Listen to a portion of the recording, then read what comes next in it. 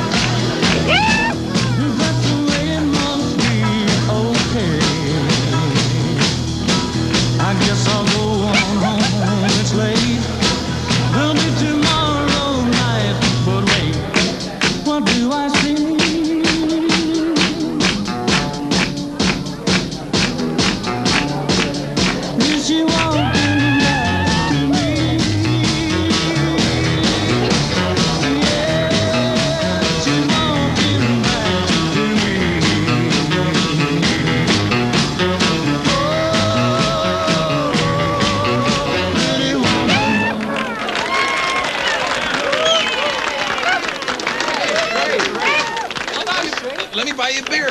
Well, thank you very much, but I really need to get out of Hazzard County as soon as I can. Oh, I'm sorry, you can't leave just yet. Uh, you're under arrest. I just sang the song, and I was only going 20 miles an hour anyway. I know, but the only way to wipe the slate clean is to tear up your speeding ticket and give you another one for slowing down, Pip. Well, I guess we're going to have time for that beer after all. Oh, uh, not quite. Leastwise, not till you finish the next song. There!